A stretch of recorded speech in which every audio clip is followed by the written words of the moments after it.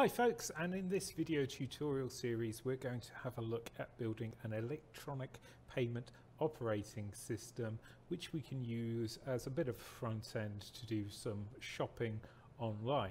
So if you've played a game like Fortnite there is a online shop which effectively acts onto the main game itself for any purchases and that's the kind of thing we're going to be building within this tutorial system.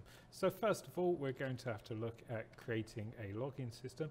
There you go, I've just created a name which doesn't actually exist on the system.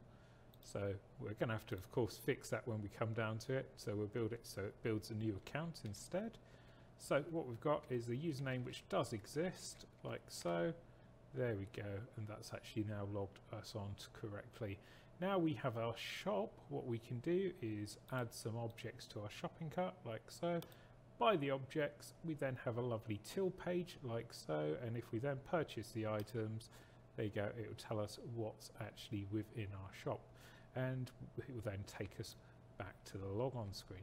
So there you have it. This is the basics of the system, what we're going to have. Basically four different pages, um, an area where we're going to hold all the centralized information stored on the character, a few bits regarding logins and where to actually go about buying shop items, and then finally how many shop items the actual individual characters have and storing them onto some sort of build so we can then use them later on and this is uh, how we create a payment operating system.